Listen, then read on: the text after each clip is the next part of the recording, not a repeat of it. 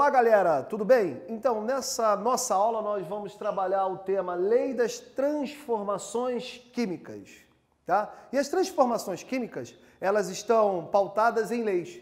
E a lei que eu trago aqui para vocês é a Lei de Conservação das Massas. Eu quero deixar um recadinho para vocês, tá? A química, ela não caminha sozinho. E a gente vai poder perceber um pouquinho nessa aula ela depende das mais diversas áreas do conhecimento para ir avançando. Como assim, Patrick?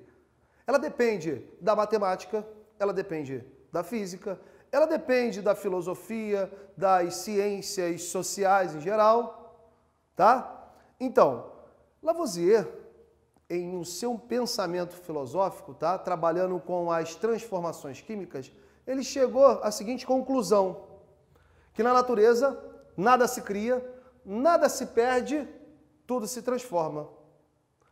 E fazendo N vezes, vários experimentos, várias vezes, várias vezes, e sempre pesando, colocando numa balança para verificar a massa do que ele tinha no começo e do que ele tinha no final, ele chegou à seguinte conclusão: que a soma da massa dos reagentes é igual à soma das massas dos produtos desde que essa transformação ocorra em um sistema fechado. Patrick, você usou dois termos que eu estou perdido. Reagente e produto. O que é o reagente? É o estado inicial da minha transformação e os produtos é o estado final da minha transformação. Tranquilo? Lá no início, eu falei para vocês que a química ela tinha relação com as mais diversas áreas do conhecimento.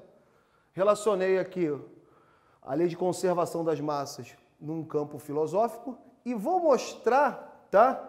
Agora para vocês a representação matemática da lei de conservação das massas.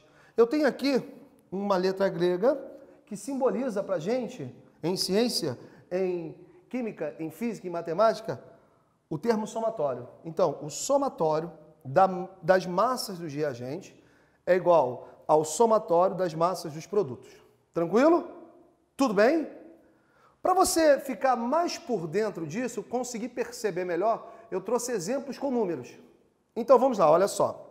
Eu tenho aqui um estágio inicial, os meus reagentes, magnésio e oxigênio. Vão interagir, vão é, reagir entre si, formando o óxido de magnésio, que é o produto. Então aqui, ó, estado inicial e aqui estado final. Aqui reagentes e aqui produto. Tudo bem? Tá. Vou trazer os números para a gente perceber isso melhor.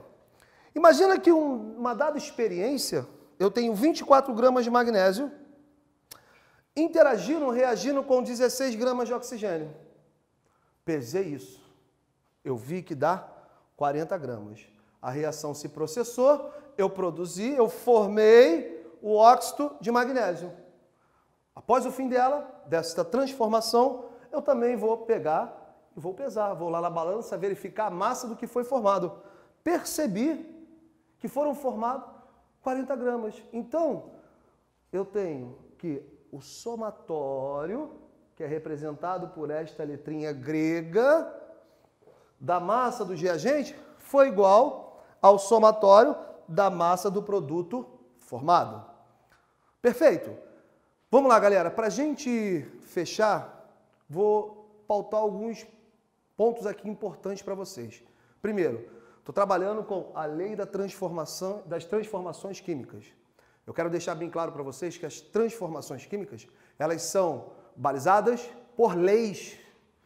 E a lei que eu trago aqui para você é a lei de conservação das massas, proposta por Lavoisier em 1795. Ele enuncia essa lei tá, de maneira filosófica, dizendo que na natureza nada se cria, nada se perde, tudo se transforma.